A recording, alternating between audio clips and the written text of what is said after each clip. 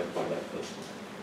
Ezt a ominózus hogy föltenni a hallgatóság, és akkor mindig zavarba jövök, mert nincsen feladatgyűjtemény. Jó? Igazából jó. Van egy olyan, hogy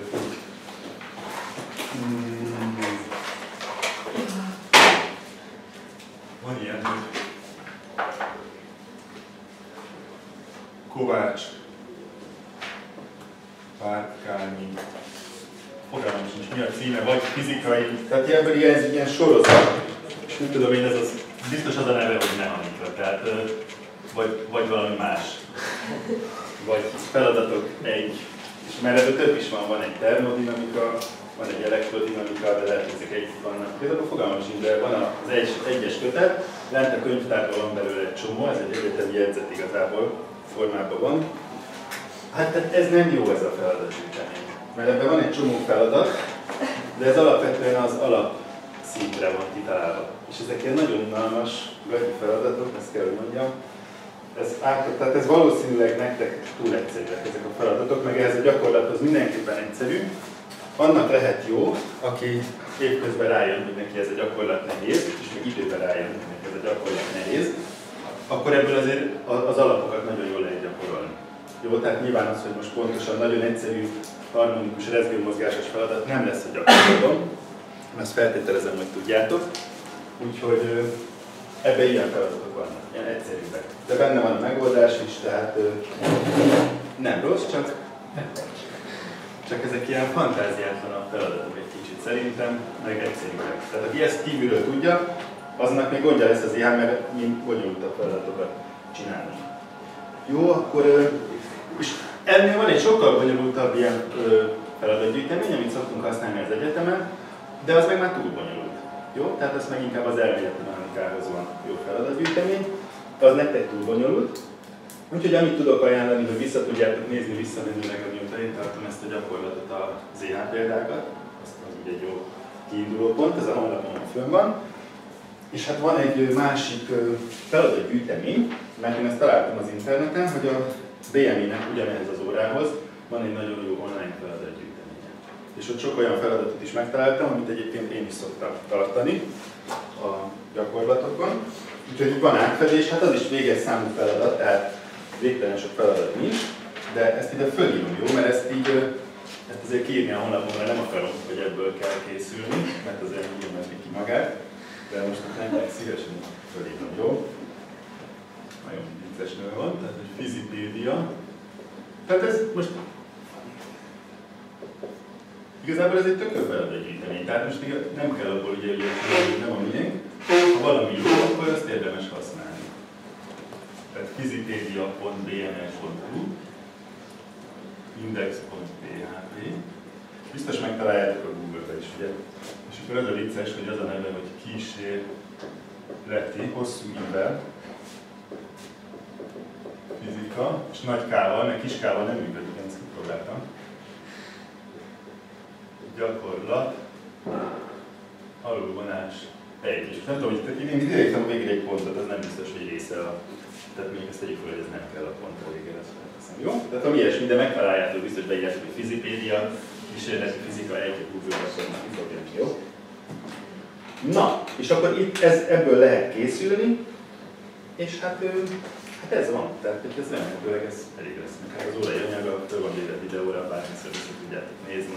Jó, ez már így elég. Na, és múlt hétről voltak házi feladatok feladva, azokat most a táblánál kellene valakinek szintén lehetőséget kap a kamera előtti szereplésre, ez nem működik egyébként? Ah, működik, jó. Tehát ki szeretne szerepelni a tévében, nem, itt megyünk tovább, nem tudom meddig. Bálint, tette Bálint? Igen. Bálint, te voltál múlt héten? Nem voltál? Nem voltál. Bálint. Bálint volt házi. Tessék? Honnan volt házi? Hát, a házi feladat attól. Az ugye az három feladat volt, és azt mondtam, hogy a hármas nem, mert nem jutottunk el, de az egyes, meg a kettes, az, az feladta. Úgyhogy egy párat tölteni megnézi abban az egyszerű deriválból. Van valaki, akinek még nincs ilyen erre a képre szóló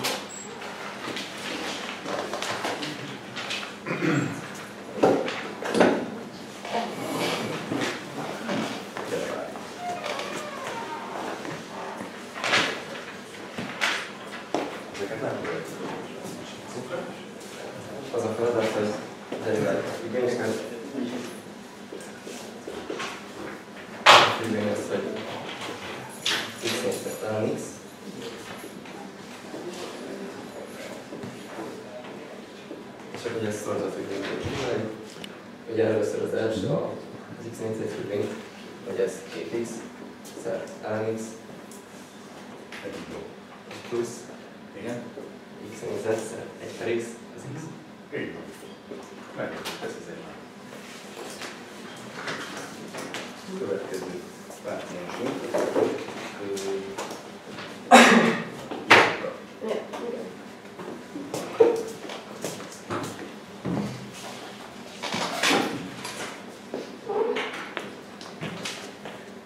Van olyan még a teremben, aki nem tud deriválni? Ezt tegye fel a kezét. Senki se vállalja be. Látjátok, színusz x. X-nek, de. És akkor az f derivált g, Igen. színusz négyzet, mínusz f g derivált, ugye ez egy plusz lesz, Meg g négyzet. És akkor hát most sok mindent csinálhatunk, mondjuk azt, igen. lehet, hogy s pár cosinus négyzet x. De ha mondjuk ezt írjuk át, ezt fejezzük ki, az egy, akkor az tovább egy elő mondjuk cosinus négyzet x, meg egyből cosinus négyzet x, meg cosinus négyzet x. Ez ugyanaz. Ja, ja, jó, minden. Mit akartam csinálni? Akkor nem ezt akartam. Ja, akkor színuszt akarod átírni színuszra? Ö, hát mondjuk, de igazából ez így elég szerintem a boldogsághoz. Igen, ez nem már nagyon. Egy, vagy? Ja, igen, ja, igen, tényleg, na igen, ezt akartam. Nagyon világos. Ja, Na, hát nagyon tényleg nagyon jó, köszi. Ennyi. Ezt tényleg érdemes megjegyezni, ezt. Meg, meg hát ezt is érdemes megjegyezni. Mert ez itt nyomon előkerül, ez még ugye a mi gyakorlatilag is elő fog kerülni legalább egyszer. Szek. Hm? X. Hát igen, de most azt, azt nem csak. Jó.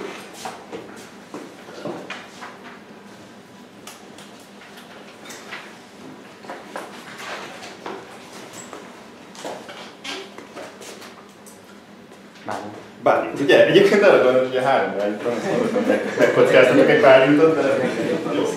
Na, bálint. És melyik bálint vagy te akkor? Csürgei Te vagy a csurgai korrát bálint. És te voltál a Volt rá. Ugye itt tagonként külön deriválunk. Ugye az első az egy szorzatfüggvény, itt derivált az ugye 1, tehát egyszer ln x plusz ö, x szer ugye ln derivált az 1 per x. Ö, Ugye ez a következő kettő az összetett függvény, és ugye egy per kétszer ez itt egy kettős akarni. Szer, ö, ugye a belső függvény váltó ez 2x. Um,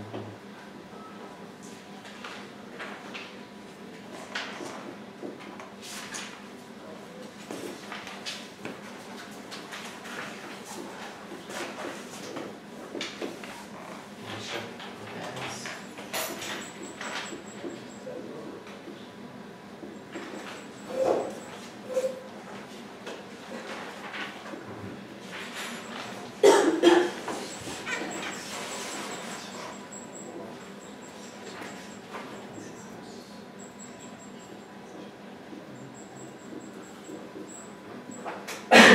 X van. Jó. Nagyon jó. Köszönöm szépen. Na, hát ö, szerintem kettőt, ezt, ezt, ezt úgy látom, hogy nagyon jól megy mindenkinek az előállás. Menjünk át erre a kettes példára. Gábor, az nekem ez... Gábor? Igen, de sejtettem, hogy A az x lesz, de nem, nem, tehát nem jöttem rá, Igen? hogy miért az lesz. Nem baj. Van valaki, aki rájön?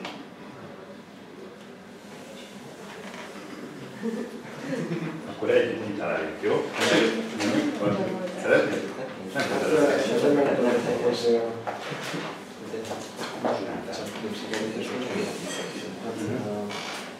tudom. Tök jó, szerintem ezzel megpróbálkozhatunk. Jó, nézzük meg. Nagy, nagyon jó. Szerintem jó lesz. Vagy nem, de majd hogy elsőre jó napunk. Akkor ez már, ugye? Persze.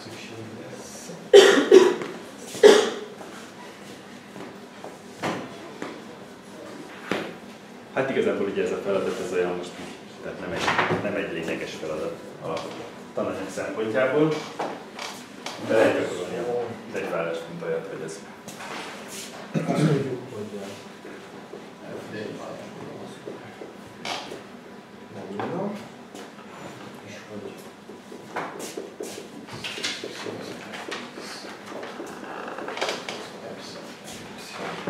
Na. És ott volt, ahogy uh, alá is van ilyen állat, írjuk fel a hányost, Igen. ezt kinézni.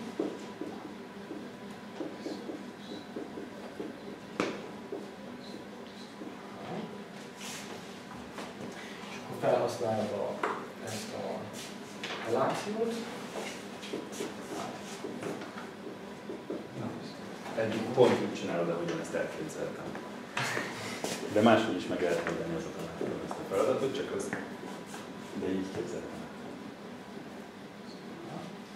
Jó. Itt a, a Netflix az kétszer található meg.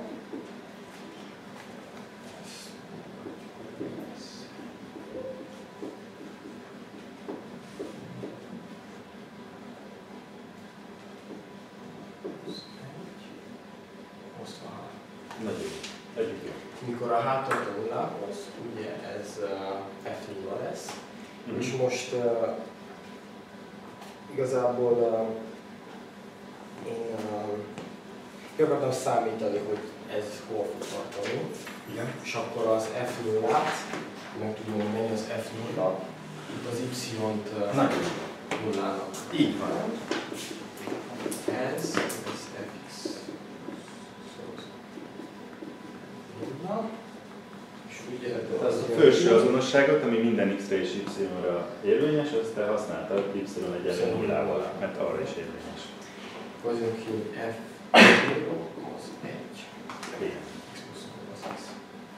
És akkor, hogyha így megnézzük, hogy ez mennyi lenne, ez 1 mínusz 1 osztva 0, az 0 osztva 0, és ezt ugye logitálva tudjuk.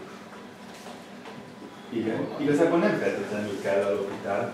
Azzal is lehet, azt most mi nem tanultuk, csak azt a trükköt, ezt, ezt is be lehet vetni, nézd, hogy ha ez 1, f0 az 1, most számoltad ki, akkor ezt az 1-et kicserélhetjük arra, hogy f0, nem? És akkor, ha így erre ránézel, akkor, Ez akkor látszik is.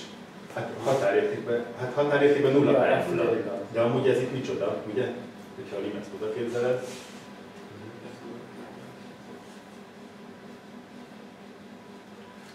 Akkor ez pont, ugye, de, tehát ez itt pont egy különbségi hányzós.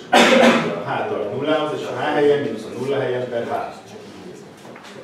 Mondjuk. És akkor ez milyen, mi a mi? Hát de így van. Ez egy vált nulla helyen, mert a h, h tart nullához. Ez... Ez az is. Aha. Tehát ezt kell még észrevenni hozzá, hogy abból az azonosságból következik az, hogy a nullában a függvény értéke az 1. Ezt kell még felhasználni, és akkor az, ami ott előállt, az pont a derivált a nulla helyen. Igen. Az van odaírva, az a limes. És akkor ezt az azonosságot kapta Eduard, hogy f vesző x az egyenlő fx szeret vesző nulla. Ami ugye az FSZ 0 az egy állam. Az meg egy pozitív számú feladat szövege szerint, nem? Vagy hát legalábbis. Legalábbis nem nulla. Tehát vagy pozitív, vagy negatív. És akkor én el kéne satszolni, milyen függvény lehet. Igen, igazából ezt most ez, ezzel lesz ma szó az el- a gyakorlaton, de ha tudod, akkor felírhatod. Hát itt uh, mondhatjuk, hogy nem x. A az x. Jó. Így lehet e, 2, 3. És utána a, a ez az államban ez lenne logarikusan. Jó. Szuper. Szucsi. Kösz. Na. Ö, ez, hogy itt van egy ilyenünk, hogy f vesző x egyenlő fx szorozva egy nem nulla szám, ezt, hogyha megnézitek, a mai feladatsorban, ott van a négyes feladat. Jó, és ezt most megfogjuk. Tehát idáig el- eljutott az Eduard, meg ő rá is jött, hogy mi a megoldás, de itt a négyes feladatig, ha eljutunk ma, akkor, akkor ott ezt kitaláljuk, hogy ebből hogy következik az, tudok lehet, igen. Először kiálltam, hogy írtam, hogy x plusz x értettem az egészet, és akkor onnan lenne. Hát biztos, hogy is. És akkor az, hogy fx derivált fy. Eduard, az, igen. Szóval uh, az x- szóval az x és az egyik ilyen deriválni. A földi képletet? Aha, igen. Igen. De hogy ez, az nem ugyanaz, ugye? Tehát, Most. És ez és egy integrálást is felvethetünk. Bizt, bár, tehát így igazából, hát itt most az volt a cél, hogy ugye a különbségi hányadost tanultuk meg, és ezt az egyenletet, ezt a különbségi hányados ismeretével vissza lehet erre az egyenletre, amiről már lehet, hogy hallottatok, hogy ez egy differenciál egyenlet, mert az f függvényt akarjuk megoldani, és van rá egy egyenletünk az f-re, de egy olyan egyenlet, amiben maga az f van benne, meg neki a deriváltja. És ezt, úgy, ezt, ezt, ez ugye, most ez milyen függvényekre igaz? Ez is egy egyenlet, ugye? Hát egy bizonyos függvényeknek egy részhalmazára igaz ez az egyenlet, és ezt úgy hívják, hogy differenciál egyenlet, amiben, ilyen, amiben a függvény van, meg a deriváltja. Most ezek ugye, és akkor innen hogy oldjuk meg, az egy dolog, de integrálni ezt még majd fogunk tanulni a fél év során, meg sok egyenlettel is fogunk találkozni, de igazából lesz olyan tárgyatok, hogy differenciál egyenletek, és akkor ott fogjátok igazán megtanulni, hogy ezeket hogy kell megoldani, vagy beírjátok a Wolfram alfába, és akkor az is megoldja, de a lényeg az, hogy eddig most el tudtuk jutni csak a differenciál hányadosnak a, az ismeretével. Jó? De igen, így is meg lehet oldani, hogy ezt az egyenletet egyszer lederiválod x szerint, egyszer lederiválod y szerint, és akkor azt nézegetni rendben, úgy is meg lehet oldani. Tehát biztos van rá sok módszer. De... Na, de én most szerintem inkább menjünk tovább, hogy, hogy haladjunk az anyaggal. És itt van a ke- kettes feladat ahol itt van az első feladat, ugye? Ha jól látom. Ezek igazából szerintem ezek a mai feladatok, ezek már nem nehezek, aki már tud deriválni. Itt van az első feladat, egy ellipszisről szól. Jó, látjuk a feladat. De azt lehet tudni, hogy az ellipszisnek valami ilyesmi az egyenlete, hogy x per a négyzetlen, meg y per d a egy. És ilyen ellipszis az úgy néz ki a Ugye nem csak ilyen lehet az ellipszisnek az egyenlete, mert ez, ez egy olyan ellipszisnek az egyenlete, aminek a főtengelye az, az x vagy az y irányába mutat, de egy ilyen Ferde nem így néz ki az egyenlete. De most tök mindegy. Tehát ez, ez még nem egy általános ellipszis egyenlet, ennél van általánosabb, amikor Ferdénál. De ez most mindegy. De ez az egyenlet most úgy áll, hogy itt van az A mínusz A, ezt tudjátok, B mínusz D, ez valahogy így áll ez a, ez cucc, ugye? Na most akkor, hogyha ránézünk erre a feladatra, ami ha minden igaz az, hogy ez van odaírva, igen. akkor ebből azt a következtetést lehet levonni, hogy A egyenlő 1, és B egyenlő, ugye, ö, gyök alatt egy ketted, ami gyök kettős, vele kettős.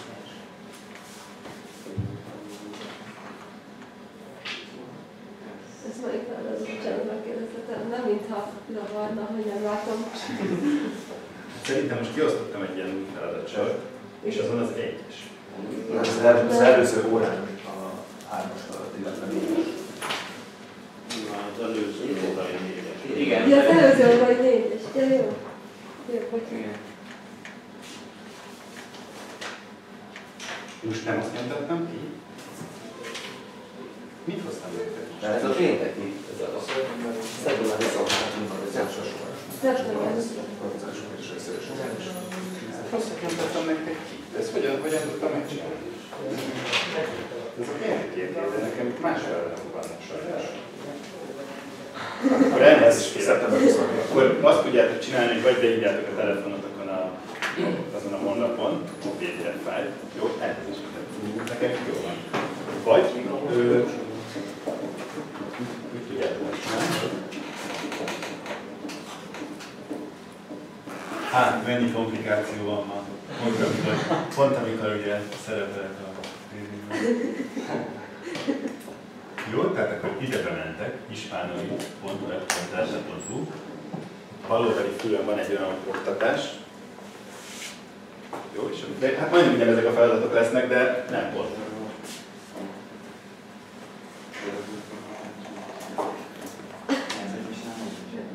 bal oldalon van egy olyan oktatás, ott megkeresitek ezt a gyakorlatot, és akkor ott van a második gyakorlat, jó?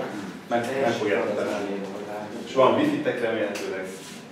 Jó? Na, elnézést kérek. Szóval.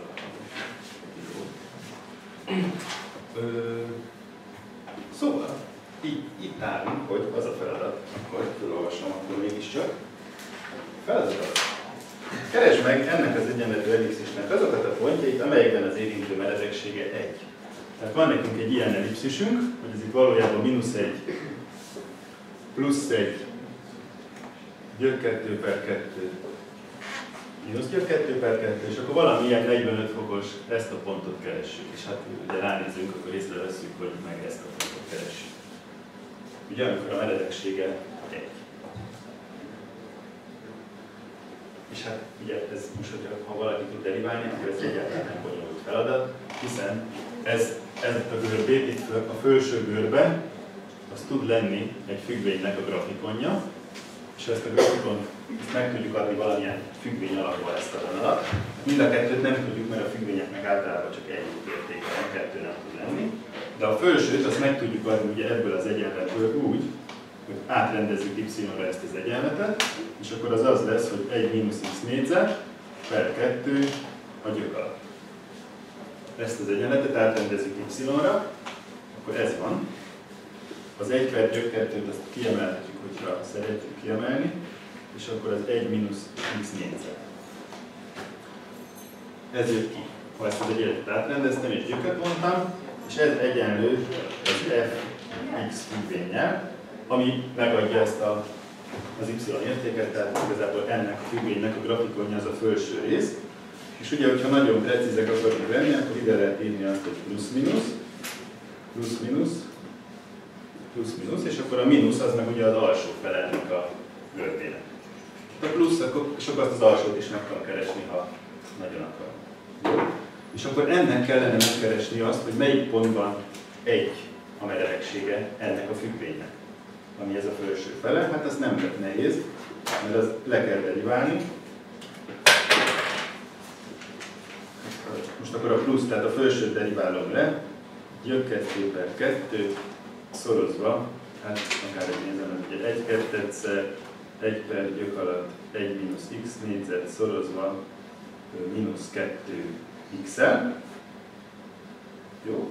És akkor itt ez a kettes, ez kiesik és akkor marad egy mínusz előjelünk, ugye, hogy mínusz gyök 2 per 2 szorozva x per gyök alatt 1 mínusz x négyzet, hogyha minden stimmel. És az az állítás, hogyha ezt most kiszámoljuk, ezt a függvényt egy adott x0 pontban, tehát keressük azt az x0 pontot, amikor ennek az értéke 1 ott lesz 45 fokos érintője ennek az ellipszisnek. Tehát most ez egy mondva csinált feladat, ez egy példa arra, hogy mire lehet alkalmazni a, a deriválást például. Jó? És ugye ez nem más, mint mínusz gyök 2 per 2 szorozva x0 per gyök alatt 1 mínusz x0 négyzet. Ez egy egyenlő egy Hát ezt meg kellene oldani ezt az egyenletet. Akkor ugye átszorzunk, akkor valami olyasmi jön ki, hogy 2 ször gyök alatt 1 mínusz x0 négyzet, az egyenlő mínusz gyök 2 ször x0.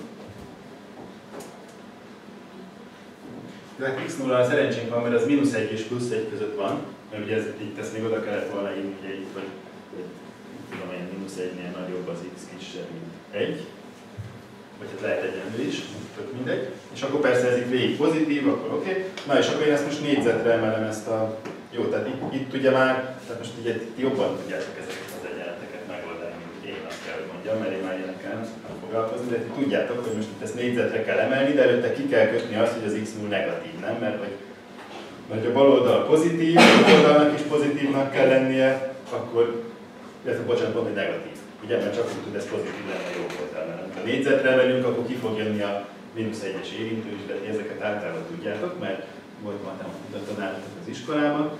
Tehát ha ezt négyzetre emeljük, akkor ez 1 mínusz x négyzet, egyenlő 2x0 négyzet, ezt átrendezzük, akkor itt az marad, hogy 4 egyenlő 6 x0 négyzet, és akkor az x0 négyzet, négyzet, az egyenlő 2 harmad, és x0 egyenlő gyök alatt 2 harmad, és szintén a matematika tanárok szeretik, hogy ezt 3 per 3-mal beszorozzuk, és akkor ez gyök 6 per 3, ha minden igaz és mivel x 0, és ugye ez plusz-minusz, de mint mondtam, ez csak a x0 egyenlő mínusz.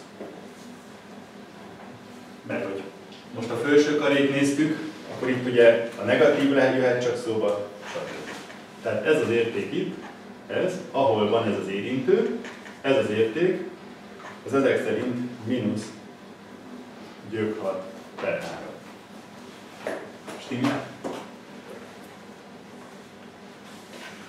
ehhez tartozó y érték, mert hát valami ilyesmit kérdeznek itt, hogy melyik pontban érinti, ez az érték, ez, hát ezt ebből az egyenletből kellene kiszámolni, vagy, vagy ebből, itt az y hasába, ide behelyettesítem ezt a ezt, és akkor kijön. Az ahhoz tartozó y érték. És akkor megvan, hogy melyik pontban érinti. Megvan az x koordinátája, az y koordinátája. És ugyanígy kijön ez a pont is. Ami hát nyilván tükrözni kell ezt oda, tehát ez nem van lesz. És fimmel minden? Van kérdés? Na, tehát akkor így meg tudtuk határozni egy érintésnek az érintőjét, például deriválás segítségével. Na, igazából a leges, talán a legfontosabb, jó, ez így de az egyik nagyon fontos alkalmazása a deriválásnak, az a függvény analízis, vagy tehát egy ilyen függvényeknek a ilyen alapvető a megkeresése, és nagyon sokszor érdekel minket függvényeknek a szélső. Hogy hol a legnagyobb, vagy a legkisebb, vagy valami. Ugye például egy tőzsdei befektetésnél nagyon érdekel minket egy függvénynek a szélső értéke. De, de például, na mindegy, és akkor itt van egy függvény, amit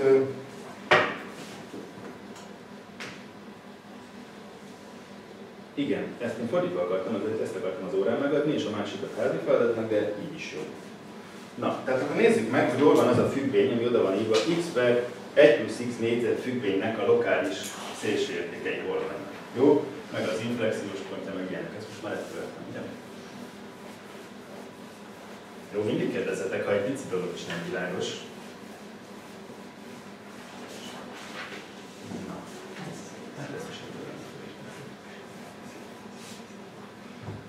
Na, szóval.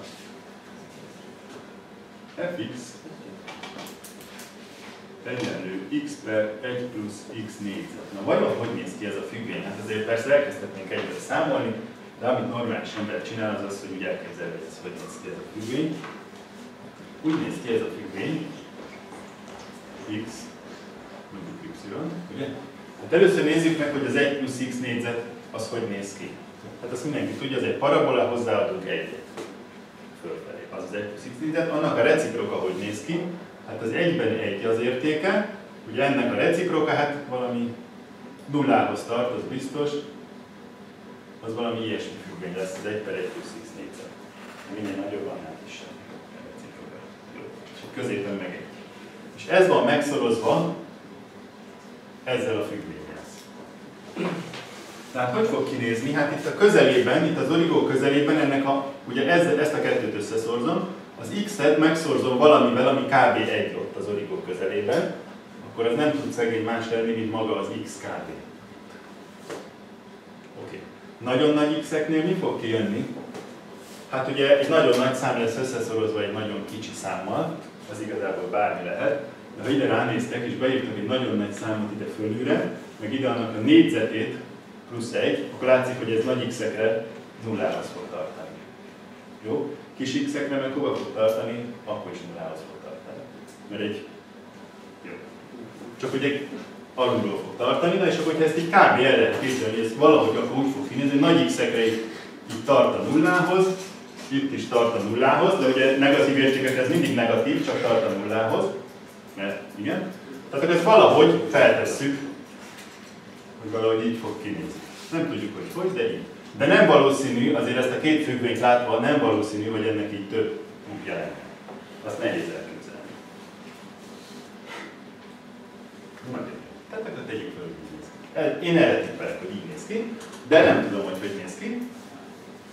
Próbáljuk meg ezt kitalálni, hogy az a kérdés, hogy hol vannak ennek a függvénynek a lokális szélső értékei. Na, ki mit javasol, hogy csináljunk?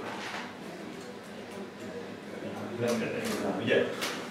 Mert ennek a függvénynek, mind, ha itt van egy maximuma, akkor az biztos, hogy az érintője vízszintes. És ha itt van egy minimuma, az tuti, hogy annak az érintője vízszintes. Jó? És akkor ebben az esetben deriváljuk ezt a függvényt. És akkor a derivátor az úgy néz ki, hogy 1 per 1 plusz x négyzet. Hát most ezt mindenki a maga szája íze szerint deriválja. Minusz x per 1 plusz x négyzet a négyzeten, szorozva a belső deriváltja, ja, ez 2x. Nekem ez jön ki, és akkor ezt, hogyha ezt az ember megkapja, akkor közös nevezőre lehet hozni, amivel pont azt csináltuk, a hányades függvényre vonatkozó szabályt használtam volna. Ö, és akkor itt az jön ki, hogy közös nevezőre hozzuk, hogy 1 plusz x négyzet négyzet. Ebből az első tagból az lesz, hogy 1 plusz x négyzet, a második tagból meg látszik, hogy az van, hogy mínusz 2x négyzet. És akkor ez nem más, mint 1 mínusz x négyzet per 1 plusz x négyzet négyzet. Ez a függvénynek a derivátja. És nézzük meg, hogy ez hol nulla. Tehát keressük meg ennek a zérus helyeit ennek a függvénynek. Ennek a függvénynek az zérus helyei az nem más, mint f vesző x0 egyenlő nulla egyenletnek a megoldása, ami ugye jelen esetben nem más, mint 1 mínusz x0 négyzet per gyakorlatilag nem gyakorlat, 1 plusz x0 négyzet négyzet egyenlő nulla. Hát nagy szerencsénk van, mert ami itt lent van, az biztos, hogy nem nulla, ez biztos, hogy pozitív ez a szám, ami itt a, az úgynevezett nevezőben van. Tehát ezzel felszorozhatunk, és akkor ebből az következik, hogy x0 négyzet egyenlő 1. És ebben meg az következik, hogy x0 egyenlő plusz-minusz 1. Tehát mivel már ezt kb. elképzeltük ezt a függvényt, mert egyszerű dolgunk volt, mert ez egy olyan függvény, amit el lehet képzelni, tehát ez nem annyira komplikált függvényekből áll. Így azt már ki is találtuk, hogy ez így 1, ez meg mínusz 1, és igazából kész is vagyunk, mert hát ezt, ahogy megint okoltam, ezt így elég jól kitaláltuk, hogy így néz ki. Most már biztos, hogy nem két kúpja van, vagy három, hanem csak egy kúpja van, mert csak egy maximuma van itt, és tudja, hogy így néz ki, hogy ezek alapján, amiket elmondtunk. De azért tudjuk, hogy így néz ki, mert így ez egyszerű volt, és kb. ki tudtuk róla találni, hogy ha itt nulla, meg ugye nullához tart, ez nem lehet más, mint maximum. Nem? Tehát itt elindulunk fölfelé, és aztán visszajövünk, akkor ez nem tud minimum lenni ez a hely. Ez viszont csak minimum tud lenni. Jó? Tehát ez így megvan. Világos minden? Kicsit gyorsan mondom, de ezt elvileg már lehet, tudjátok is, meg, meg azért annyira persze nem bonyolult. Tehát megkerestük az élős helyeket. Csak ezeken, ha valahol van neki lokális minimuma, az itt. Jó? Ha egy függvény deriválható, akkor csak ott lehet lokális minimum, ahol nulla a deriváltja. Ez biztos. Ha nem deriválható, például az abszolút függvény, annak ott lehet lokális minimuma, úgyhogy a deriváltját nem tudok számolni. De ezek elég ritkán vannak ilyen típusú függvények. De ha deriválható, akkor csak ott lehet lokális szélső értéke, ahol nulla a deriváltja. De ez fordítva nem igaz, ahol nulla a deriváltja, ott nem biztos, hogy lokális szélső értéke van. Ugye, ezt tudjátok? Tudjátok. Tudtok rá példát is mondani. x Az x van, ez a legjobb példa. Ugye egy ilyen függvény, aminek itt nulla a deriváltja, de sem lokális maximum, sem lokális minimum nincs.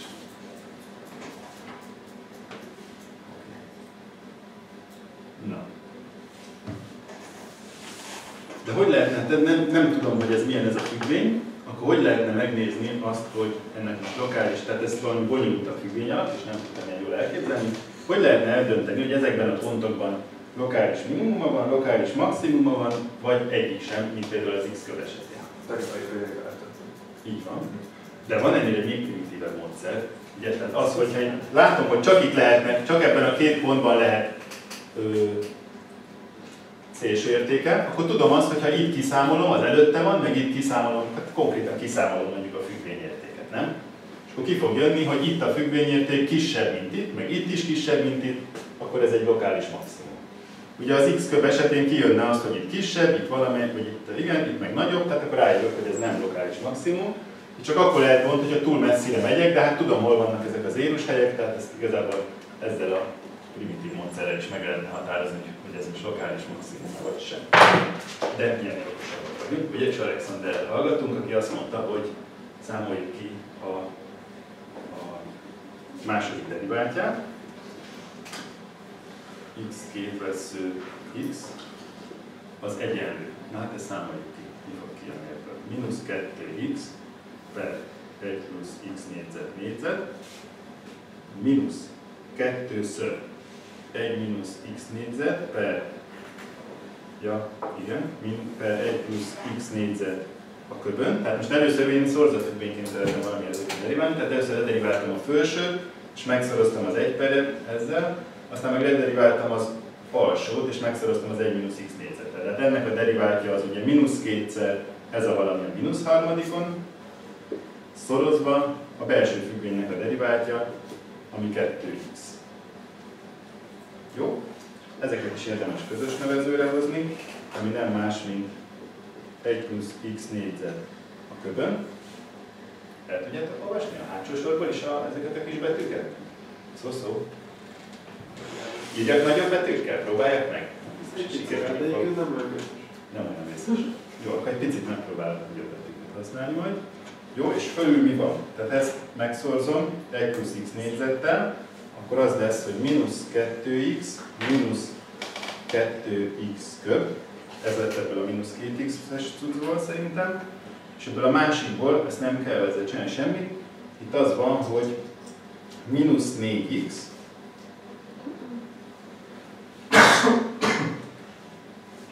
plusz 4x köb. Nincs olyan nehéz dolgom, mert egy fél órával ezelőtt számoltam ki ezeket a feladatokat papíron, csak emlékeznem kell arra, hogy ki. És ez itt mínusz 6x plusz 2x négyzet, tehát akkor kettőt ki lehet ebből emelni, 2, 1 plusz x négyzet a harmadikon, és itt az marad, hogy mínusz 3x plusz x köb.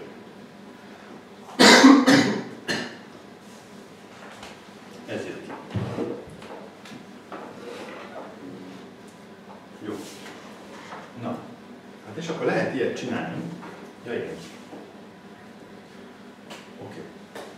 Amit lehet csinálni, az az, hogy nézzük meg, hogy ez, ja, ki lehet emelni x-et. Ezt megcsináljuk. Kettőször x szorozva mínusz 3 plusz x négyzet per 1 plusz x négyzet köb. Nagyon. Ez két. És akkor még olyat lehet csinálni, hogy nézzük meg, hogy ez vajon hol nulla ez az x két vesző x nulla. Hogy hívjuk x1-nek, jó, hogy ne legyünk az előzővel. x1 egyenlő nulla. Tehát keressük meg ennek az érős helyeit, mert hát ugye nem.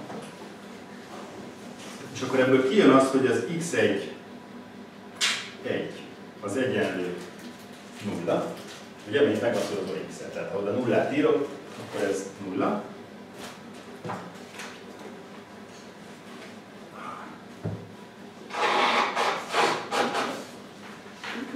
Az i 1, 2, az meg micsoda? Hát ennek az zárójel ez tudsz, ez tud nulla lenni, mert amivel osztok, az mindig pozitív. Ez meg úgy tud nulla lenni, ha x négyzet egyenlő 3-mal. Tehát x egyenlő vagy plusz gyök 3, vagy mínusz gyök 3, ha jól gondolom. Tehát plusz gyök 3, x1 3 egyenlő mínusz gyök 3. Meg. És akkor ilyenkor egy nagyon szép kis táblázatot lehet csinálni. Hogyha ügyesek vagyunk. Tehát van egy olyan eset, hogy x kisebb, mint mínusz gyök 3. Van egy olyan eset, hogy x egyenlő gyök 3, illetve mínusz gyök 3. Jó. Van egy olyan eset, hogy mínusz gyök 3-nál nagyobb az x és kisebb, mint 1, mint mínusz 1. Akkor van egy olyan eset, hogy, hogy x egyenlő mínusz 1. Lehet fokozni. x mínusz 1-nél nagyobb az x és kisebb, mint 0.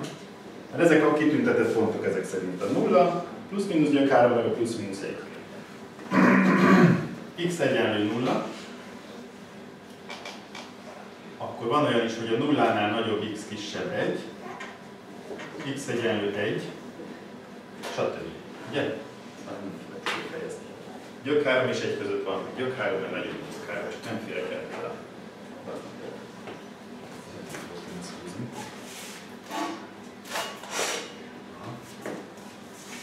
Hát ezt nem Na, és akkor mit lehet csinálni? Hát igen, tehát azt lehet csinálni, hogy megnézzük, hogy a f vesző x, tehát ez itt az x, ez az f vesző x, ez most hol milyen? És hát azt látjuk, hogy az f vesző x az, az jött ki, hogy idáig végig ugye negatív, és itt lesz, tehát itt nulla az f vesző x, ugye? Itt is nulla az f vesző x. És itt az f vesző x az negatív, itt meg pozitív az f vesző x, és itt megint negatív az f vesző x, ha itt tovább megyünk, ugye? Tehát ugye itt van az, hogy x nagyobb 1, kisebb, mint gyök 3. Jó? Ez jött ki. És akkor van egy ilyen, és akkor ezért azt látjuk, hogy ez a pont itt, ez egy lokális minimum, mert előtte csökkent a függvény, utána meg nőtt. Ugye, mert itt lefelé mutatott, utána fölfelé mutat, tehát ez csak lokális minimum lehet, ez meg lokális maximum.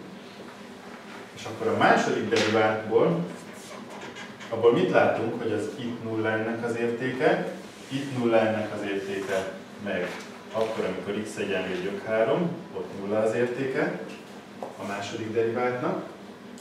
Tehát itt ugye, ahol negatív az értéke, ott azt látjuk, hogy ez, ahol negatív a deriváltot, ott mit csinál? Szigorúan monoton csökken, nem van valamilyen. Ezért nem? Tehát ebben a tartományban, itt, szigorúan monoton csökken. Ebben a tartományban, hát mert ez úgy, igen, tehát szigorúan monoton nő.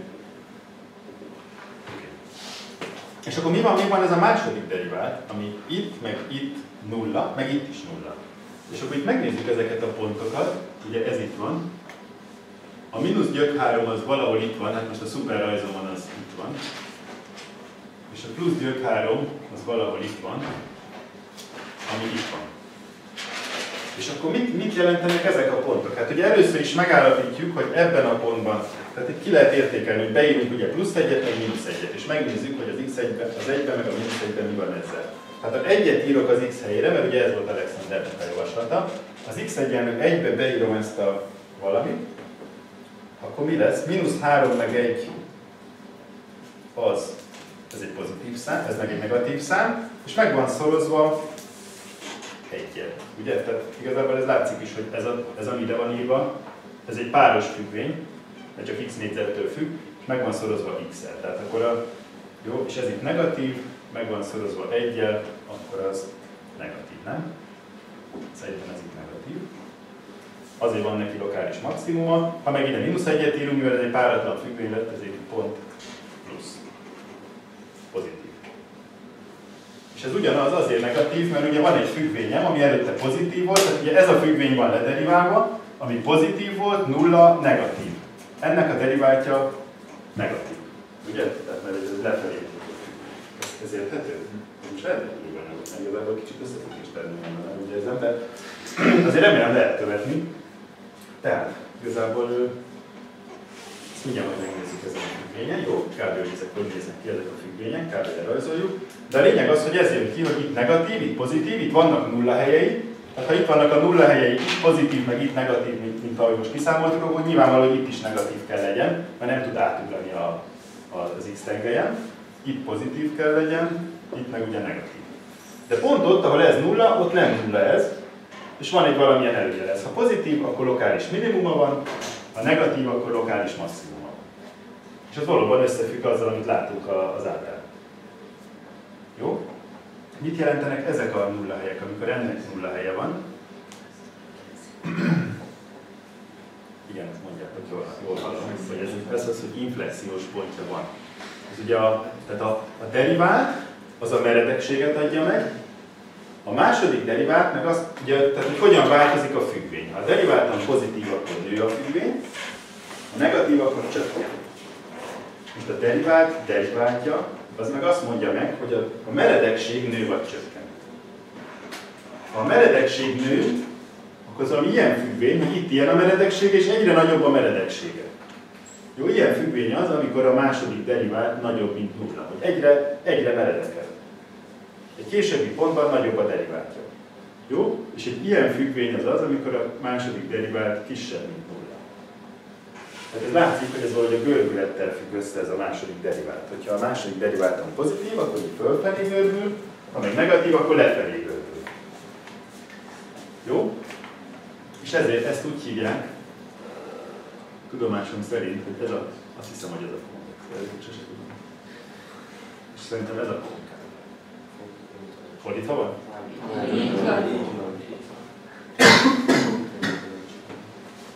És akkor látszik, hogy itt, ahol pozitív, ebben a tartományban, ebben a tartományban pozitív a, illetve negatív, negatív a második derivál, és valóban ezen a ponton ez konkáv.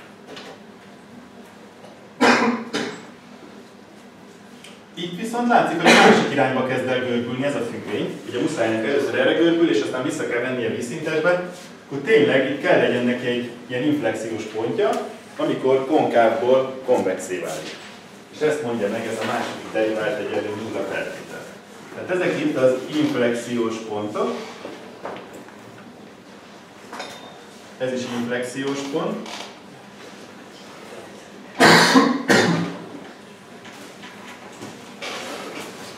Ebben a tartományban. Konvex, itt konkáv, itt konkáv, és aztán a végén megint konvex. Na, hát ez, ez, ez, erre jutottunk ezzel a fizikális Úgyhogy... Szóval,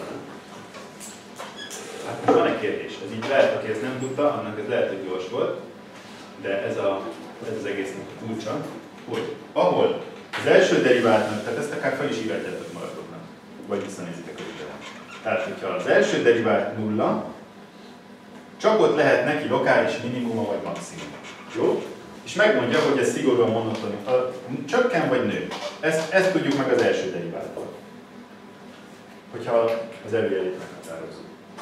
A második derivált, abból azt tudjuk meg, hogy ha egy olyan helyen, ahol nulla a deriváltja, ott az értéke pozitív, akkor tudjuk, hogy ez egy lokális minimum. Ha ott, ahol, a, ahol nulla volt a derivált és negatív, abból tudjuk, tehát ezt igazából egy visszafelé így tudjuk, hogy ebből tudjuk, hogy lokális minimuma van, meg ebből tudjuk, hogy lokális maximum van. Tehát erre jó a második derivált, hogy a nulla derivált helyeken, ha van, ha nem nulla, akkor az előjeléből el tudjuk dönteni, hogy ez lokális minimum vagy maximum. Ez nagyon praktikus. Amúgy pedig az előjele megmondja, hogy adott helyen konkáv vagy konvex a függvény. Parancsolj meg. Egy olyan kérdésem, hogy itt a hatoslatban is szerepel ez a görbületes képede. De az más, az a görbületes sugár. És annak a reciproka, az ebben a azt megtam. Hát látod, hogy ez a második deriváltal azok összefügg, ez benne van. Úgyhogy arra majd beszélünk, jó?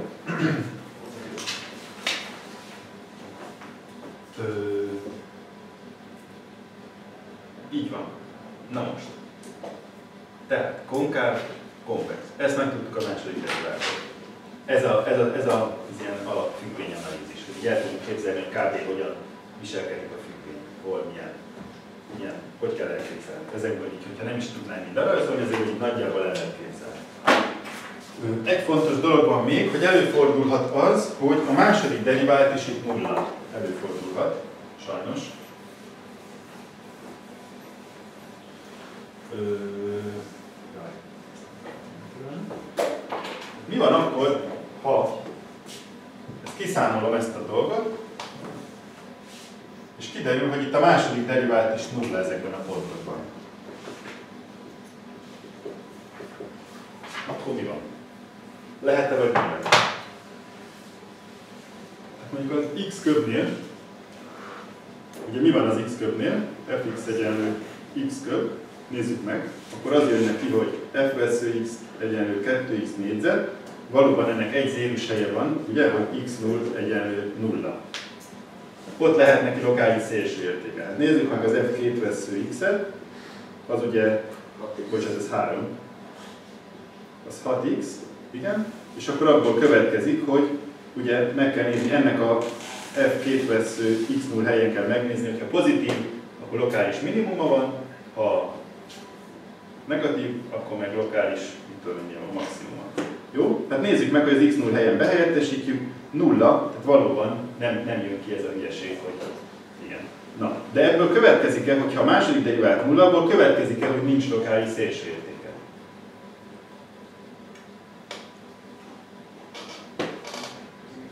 Most már tudjuk-e, hogy ezek szerint ez nem szélső érték?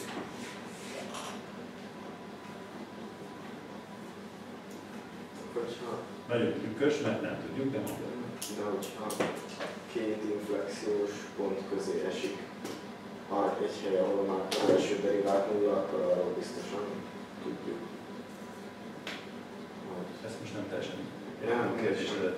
De nyugodtan fejtsd ki, hogyha... Hmm, Tehát ugye azt mondtam, hogy ha, ha itt, ha itt pozitív, akkor tudjuk, hogy ez lokális minimum. Ha viszont az jön ki, hogy ha negatív, akkor de ha nulla jön ki, akkor két eset lehetséges. Vagy nincs ott lokális minimum, mint itt, vagy van lokális szélső érték. Ez a két eset lehet. Miért? Ered, hát most ezt egy példával lehet a legjobban illusztrálni. Az fx egyenlő x a negyedike. Jó? Tehát ez, egy, ez, ez már egy elég ritka eset, hogy ilyesmi előáll, hogy ez, ebből nem lehet eldönteni a második deriváltból a, a szélső értéknek a fajtáját, meg egyáltalán létezését, hogy van-e. De ugye az x a negyediken az egy ilyen függvény, jó? Tehát ugye itt ilyen nagyon lapos itt alul, az x négyzethez képest is lapos, és ezért azt látjuk, de hát ennek tudjuk mi, hogy ennek itt nem csak lokális, hanem abszolút szélső értéke van, de szélső értéke van. Ellenben, hogyha megnézzük azt, hogy f vesző x egyenlő 4x köb, akkor ebből valóban kijön az, hogy csak az x0-ban lehet neki lokális szélső értéke, viszont a második derivált az továbbra is, ugye az 12x négyzet, tehát az fx0 az sajnos nulla. És mégsem az van, hogy nincs szélső értéke, hanem ilyenkor akkor tovább kéne menni a negyedik deriválthoz, és így tovább, hogy és akkor abból derül neki. Jó? Tehát vannak ilyen kivételes esetek, hogy a második deriváltból sem tudom egyértelműen eldönteni, hogy ez lokális minimum vagy maximum, de ilyenből nagyon kevés van. És hát mondom, van egy másik módszer, hogy előtte leolvasom a, az értékét a függvénynek, meg utána leolvasom, meg itt leolvasom, és akkor kiderül, hogy ez most maximum vagy minimum. Az itt ezen az, ebben az esetben tökéletesen működne, mert tudom, hogy csak nulla lehet szélső érték, kiszámolom a függvény értékét a nulla helyen, kiszámolom a mínusz egy helyen, meg a plusz egy helyen, és konstatálom, hogy hát ez mi. Jó? Az x többnél meg konstatáltam volna, hogy hát ez nem, ez egyik sem. Úgyhogy ilyen is igazából nem kell mindig nagyon szép megoldásokat keresni, hogy az ember egy problémát megold, de mindig a legpratikusabbat kell. Ezt most akkor le. Na.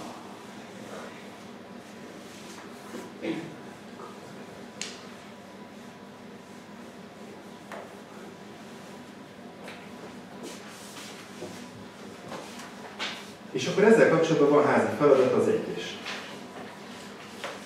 Most jön a, most jön a hármas feladat. Dimensionális. Ö, Mi ez a dimensionális? Elég egyszerű dolog. És igazából én ezt eddig sose vettem ide bele, csak most kaptam egy sugallatot az egyik kollégámtól, hogy ezt ő mindig az első órán ezzel a dimensionálisissel foglalkozik. igazából ez csak úgy, ez egy ö, bizonyos esetekben lehet használni ezt a módszert, akkor viszont nagyon, nagyon hatékony. És egyébként azért érdemes felhívni erre a figyelmet, mert, ö, mert hát sokszor, sokszor itt az emelt szinten is olyan ö, megoldás születik az éhen egy feladatra, hogy nem stimmel a dimenzió. Akkor ez, ez nem árt, hogyha ezzel is egy kicsit erre felhívom a figyelmet, hogy, hogy hát mag, csak az, hogy az ember megnézi a végeredményét, hogy dimenzionálisan helyese, az alapján már elég gyakran ö, előre hogy mondjuk rájön az ember, hogy ez a megoldás rossz. És néha még azt is ki lehet belőle találni, hogy hol rossz, mert ha hiányzik egy, egy per szekundum, akkor jó eséllyel nem lehet egyszerre dedikálni. Na, mi ez a dimenzióanalízis? Ott van. Határozzuk meg, hogy van egy matematikai ingánk, jó, tehát ez a dimenzióanalízis, ez egy nem, nem, nem, nem pontosan tudom azért én sem, hogy mi ez a dimenzióanalízis, tehát ez nem egy ilyen exaktúr megfogalmazható dolog, mint a Newton törvények, de hát így kb. kb. elmondom, mi a. Meg hát itt tehát nem egy exakt dolog. Itt van egy matematikai inga. Mennyi ennek a legkis ideig? Úgyhogy még sosem hallottunk a Newton törvényekről. Jó?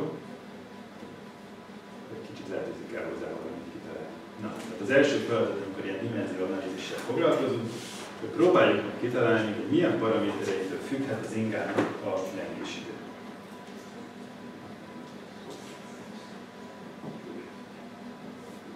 Ti nézzük ezt az ingát. Hát ennek nagyon sok tulajdonság ennek az ingának az Ugye? Tehát van például szerintem van egy hossza.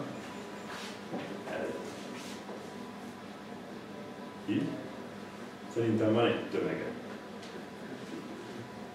Van még bármilyen tulajdonság ennek az ingának? Hát attól, hogy milyen célnából van ez az inga, ettől azért csak nem függ, ha ugye egy erős célnából csináljuk, nem? Tehát nincs, nincs exakt dolog, hogy nincs hogy na csak ettől függhet, de az ember úgy erre, erre így rá lehet, és sok példánál rá lehet érezni arra, hogy függhet. Hát függhet a, szerintem a tömegétől, meg a hosszától, ideális esetben.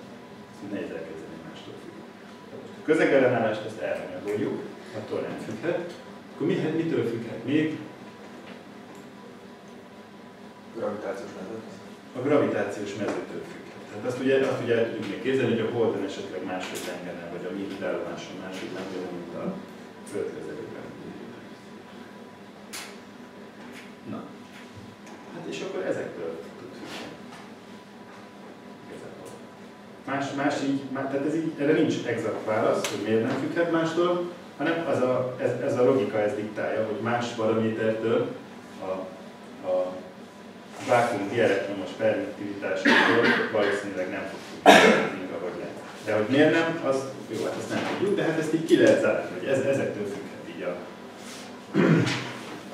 a megoldás, és hát akkor, ha viszont ezektől függ, akkor biztos, hogy a nagy T az valamilyen függvénye ennek a M, L, G paramétereknek. Igen, nem? De ami ide van írva, annak biztos, hogy szekundum mértékegysége kell legyen, ugye? Tehát ez a, hogy hogy szokták ezt jelölni, nem tudom. Tehát akkor az F pam, pam, pam, ennek a mértékegysége, azt mondom, mit szokták jelölni, a szekundum kell legyen. Na most, hogy nézhet ki ez a függvény? Milyen, milyen függvényeket ismerünk? Hát van olyan függvény, összeadás, szorzás, osztás, színusz, koszinusz, logaritmus, akármi. Ugye van egy sok függvényt ismerünk. Na most az a lényeg, hogy ezekből a függvényekből nagyon sok, tehát lehet benne valami színusz, nem? Simán. De ha van benne egy színusz, akkor annak a hasában mindig mi van? Mindig egy dimenziótlan szám van a hasában, és ami ebből kijön, az mindig dimenziótlan. Jó? Most ha veszük az exponenciálist, az EADX függvényt, akkor ide mindig egy dimenziótlan szám kerül, mert olyan, hogy szekundumnak az EAD-ját nem tudjuk venni, mert akkor a végeredmény függene attól, hogy szekundumban mérjük az időt, vagy valamilyen más egységekben, vagy percbe, vagy órába, és attól nem akarjuk, hogy az eredmény függjön, hogy én milyen mértékegységet választok. Ugye ugyanez lenne a helyzet a színusznál is. Tehát ami nem lineáris függvény, az számítana azt, hogy kilométert vagy mérföldet használok. Ha ennek itt belül maradna a dimenziója. De ezt nem szeretnénk, hogy ezeknek a függvényeknek sosincs dimenzió. Mindig úgy néz ki, hogy lehet itt bármilyen függvény a végén, de ez valahogy úgy fog kinézni a végén ez a függvény, hogy lehet valamilyen dimenziótlan mostans, szorozva a tömeg az alfaldikon, szorozva a hossz a béta adikon, szorozva a g a gamma adikon, szorozva valamilyen függvény f, ezeknek a paramétere, ami viszont dimenziótlan. És lehet több összeget is összeadhatok, akkor ezek ilyen tagokból fog összeállni. Az lehet. Hogy van még itt ilyen plusz C2-ször M a alfa 2 szer, L a beta 2 szer, G a gamma 2 szer, G, ja G az nem igaz, kétszer használtuk. Akkor H. Valamilyen dimenziótlan függvény. Jó? Tehát egy dimenziótlan függvény.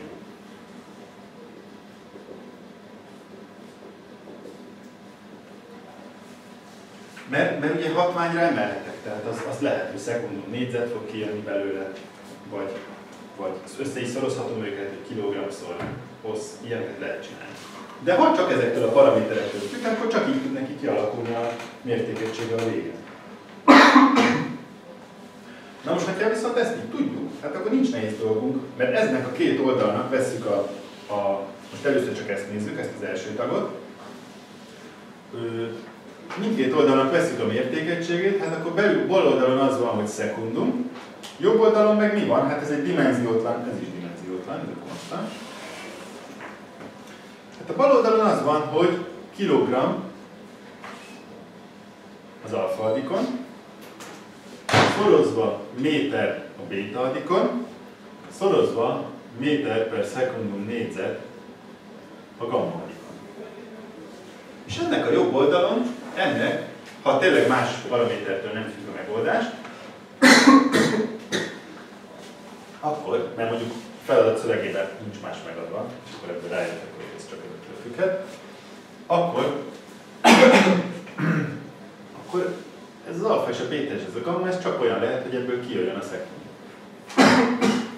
És akkor ebből az következik, ha megnézitek, hát a kilogramm az alfa adikon, az a bal oldalon nincsen kilogramm.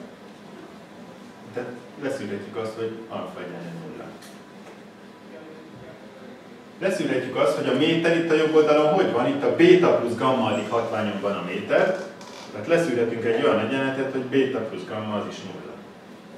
A szekundum az meg milyen hatványon van? Az mínusz két gamma adikot hatványon van, a mínusz két gammáról meg leszűrjük azt, hogy az egy. Ilyen. Ilyen bonyolult számolást végzünk. Hát akkor ebből következik, hogy gamma egyenlő mínusz 1 2 Akkor a második egyenlettel együtt ebből következik az, hogy béta egyenlő 1 2 az alfáról meg egyből kiderül, hogy nulla. Tehát igazából az al, tehát ha ilyen, ezektől függ, akkor az alfára, a bétára és a gammára egyértelmű számok jönnek ki.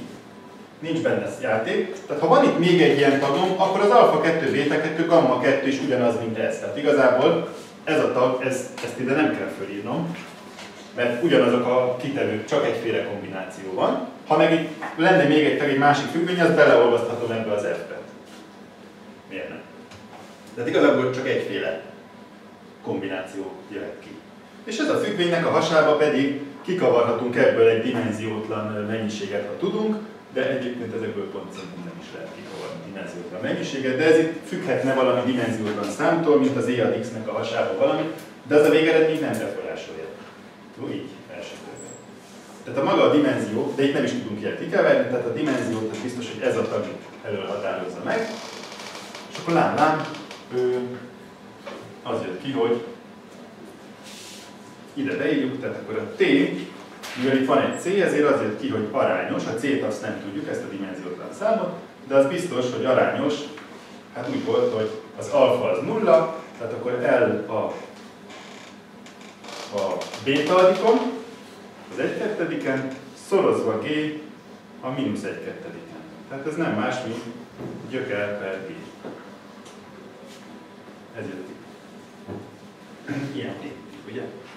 De hasznos tehát primitív, és nem is teljesen exakt, mert nem tudjuk pontosan adni. Tehát ezt azért ezt most csak így kitaláltuk, hogy ez ettől függ, józan paraszt észre, de erre így nincs persze egy módszer, hogy mik azok a paraméterek exaktul. De ha véletlenül ezeket így megsejtjük, akkor ez csak gyöngel per G-vel mehet a megoldás, És hát tudjuk valóságban, hogy ugye van előtte egy, Kettő. egy kettő, így. Igen. Tehát, hogy azt, azt nem kaptuk meg. De azt tudjuk, hogy egy kétszer olyan hosszú inga, az gyökétszer olyan hosszú ideig fog lenni. Ami azért egy hasznos információ lehet adott esetben. Függetlenül, hogy pontosan nem tudjuk a számértéket, de azt tudjuk, hogy hogy függ a, meg tudjuk mondani, hogy a ingánál, hogy ez a holdon hogy lenne.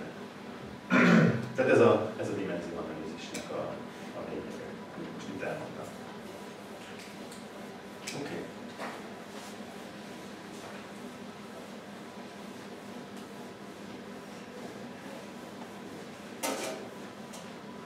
És akkor mondjuk egy kicsit bonyolult a feladat. Nekem azért hoztam ez a feladat, mert én annak idején, amikor én első éves voltam az egyetemen, akkor én is elmentem arra az ötös versenyre, ami itt volt, és ez volt az egyik feladat. És, és nem tudtam hozzá se kezdeni, nem tudtam, hogy ezt hogy kell kiszámolni. Hát most már, most már tudom, hogy, hogy mi az egyik módszerben. Ki lehet számolni, fölhívja az ember a forgatónyomatékokat, akármi, nem néztem meg pontosan, de ez a feladat benne van, a, van ez a 333 főfontos feladat, de ugye, abban ez benne van. És úgy meg van oldva úgy is, hogy kiszámolja az ember az erőket, meg minden, csak nagyon lusta voltam elolvasni. Hát én érzelmi okok is vannak ebben, ugye. És a másik, hogy lehet dimenzió analízisre is nekiállni. Na nézzük meg, hogy dimenzió analízissel. Hogy jön ki? Tehát az a, mindenki olvassa el a feladatot, de inkább felolvasom, mert tudom mindenki a telefon.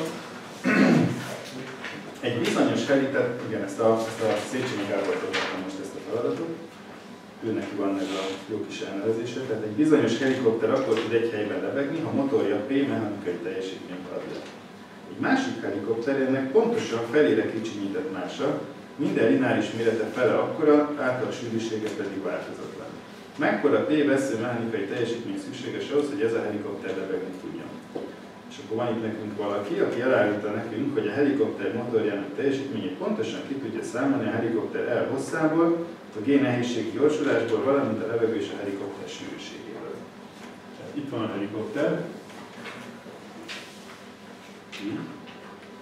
Nem a helikopter felvenni persze. Itt van a helikopter. Így. Itt van.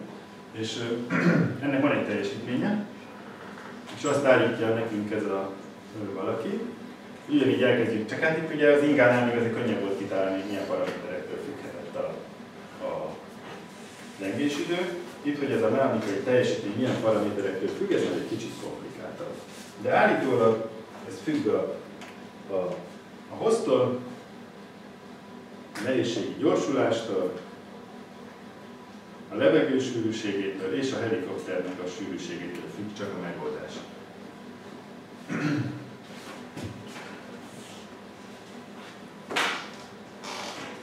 Hát ezt, de ezt el, elmondja nekünk valaki, akkor már könnyű dolgunk van, mert akkor már tudjuk használni hogy miért nem függ egyébként a helikopter tömegétől az, hogy ez, ja, a sűrűsége ott van.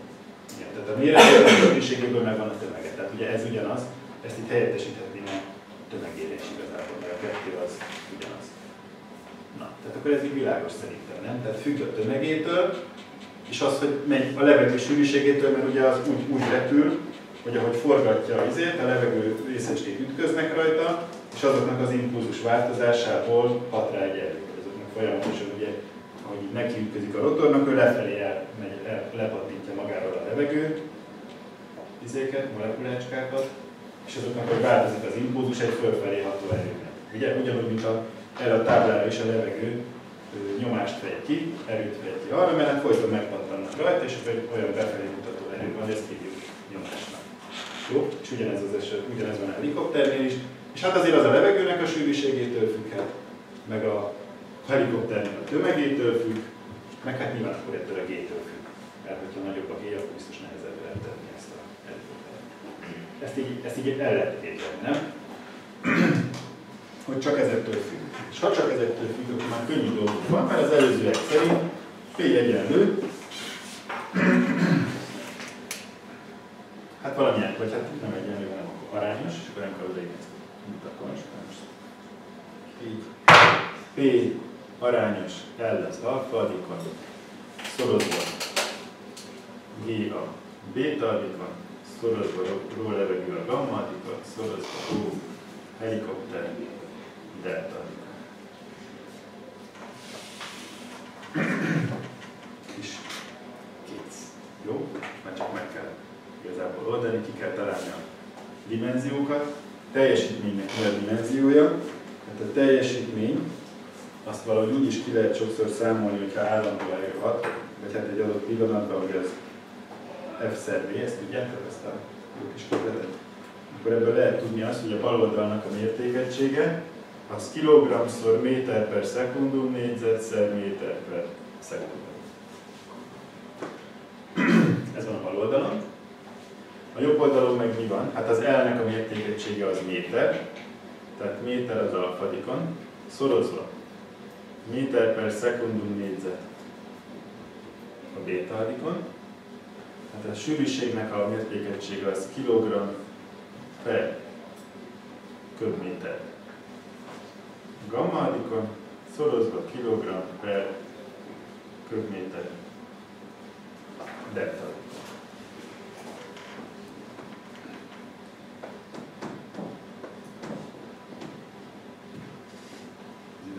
ugye?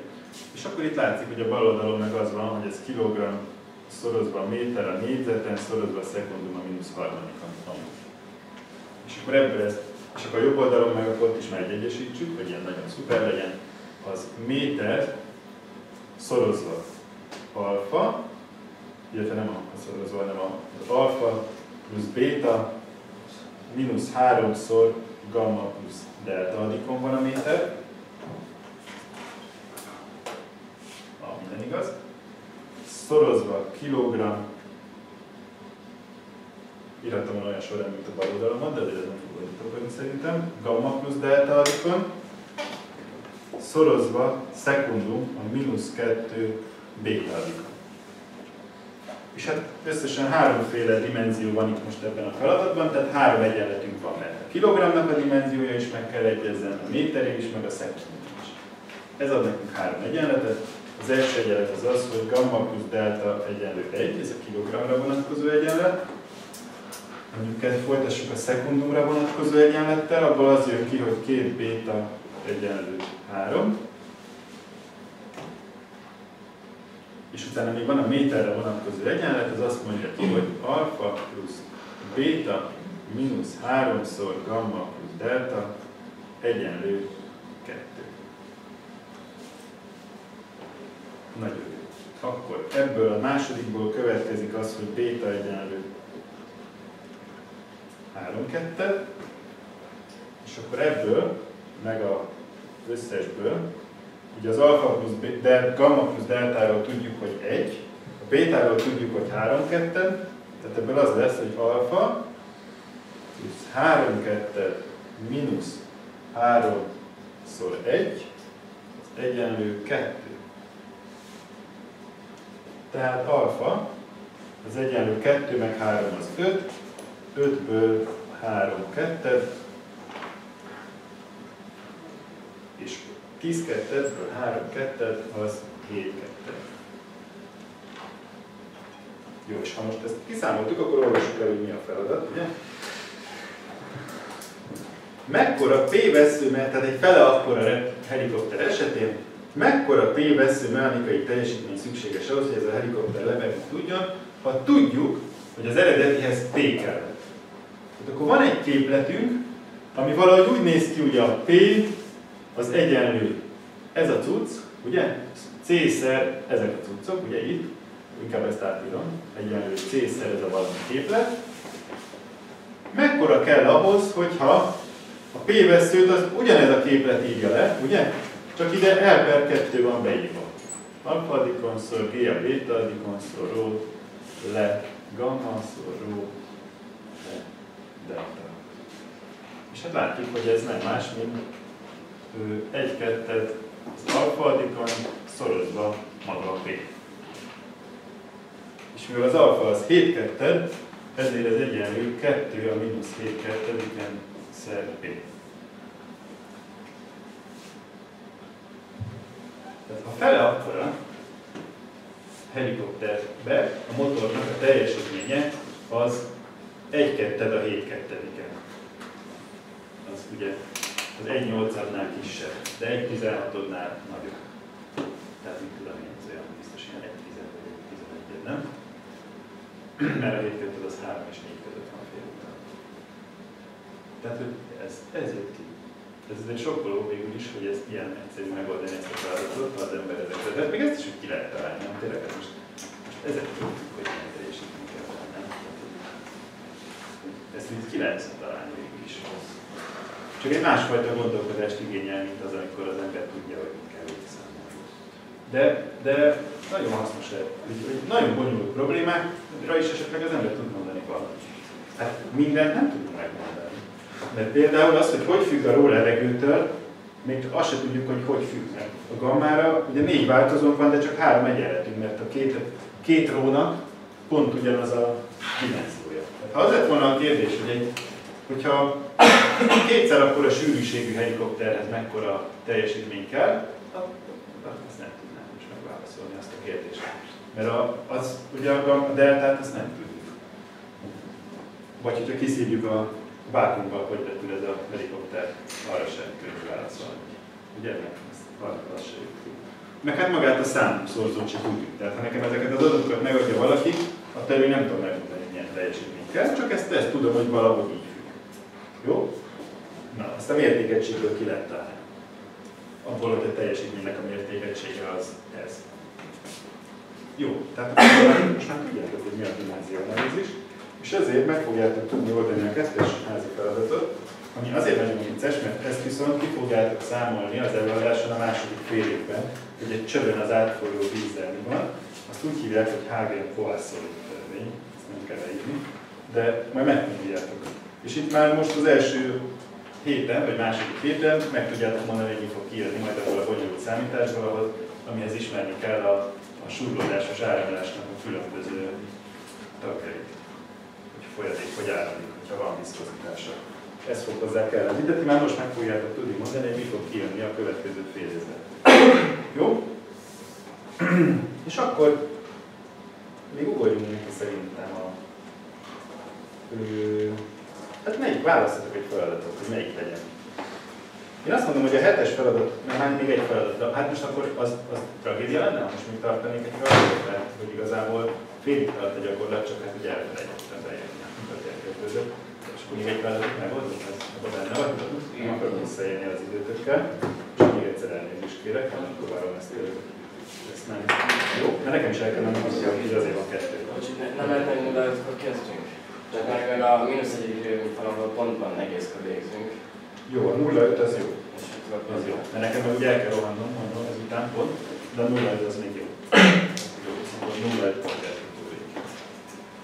Na, tehát, még gyorsan ezt a hetes feladatot oldjuk meg, és a következő órán majd visszatérünk a, a többit, az, a többit sem hanyagoljuk el, jó?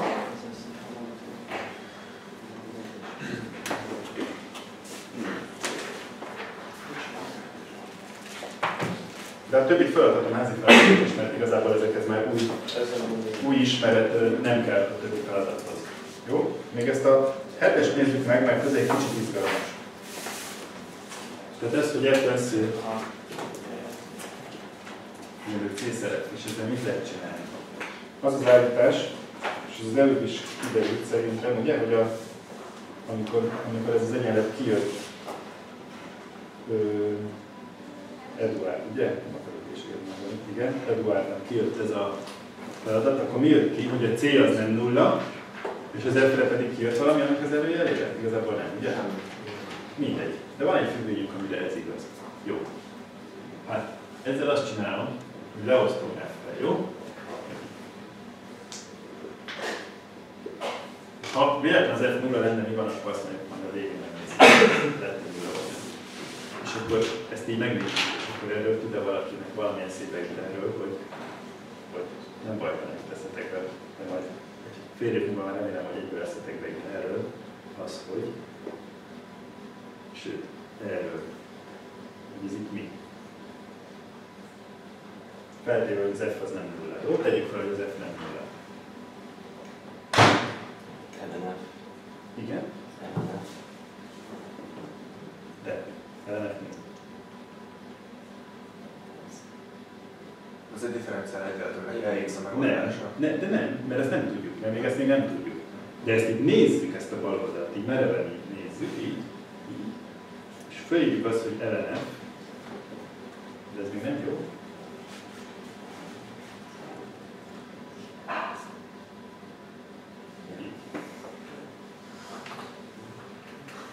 Összetett függvény deriválását már tanultátok. Az összetett függvény deriválása az úgy néz ki, f, g, x vesző, az f vesző x szer f vesző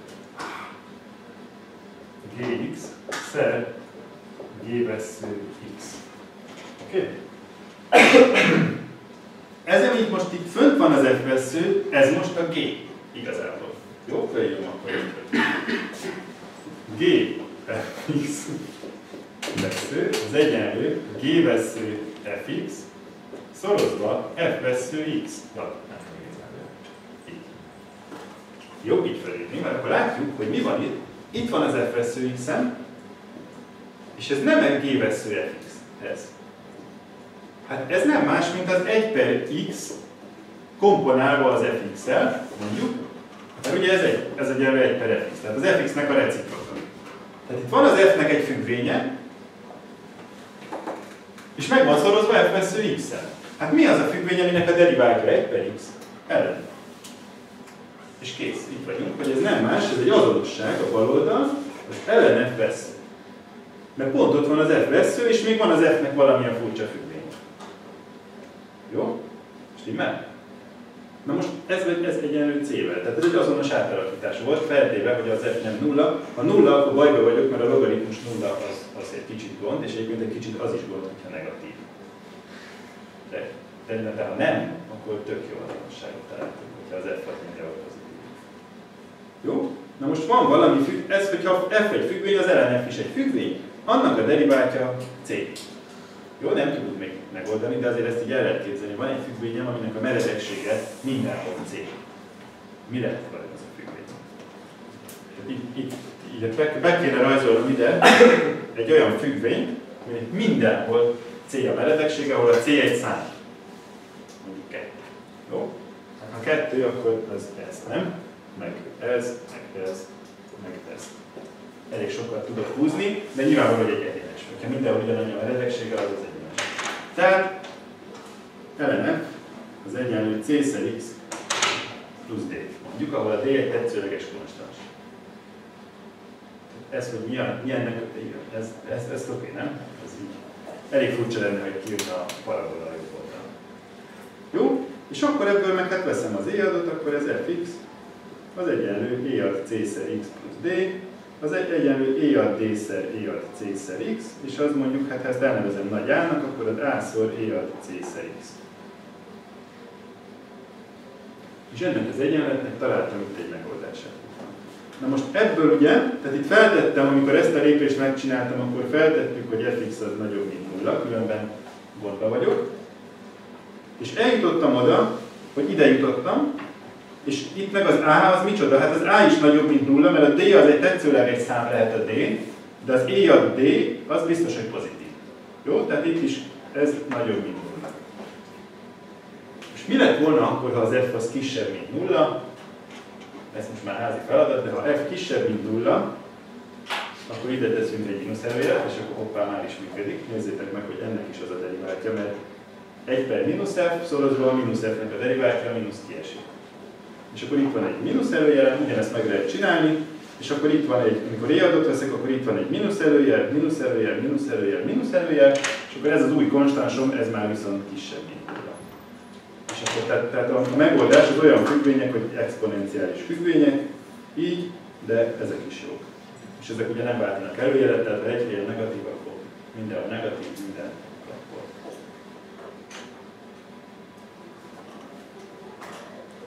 Oké. És persze az azonosan nulla függvény is egyébként jó.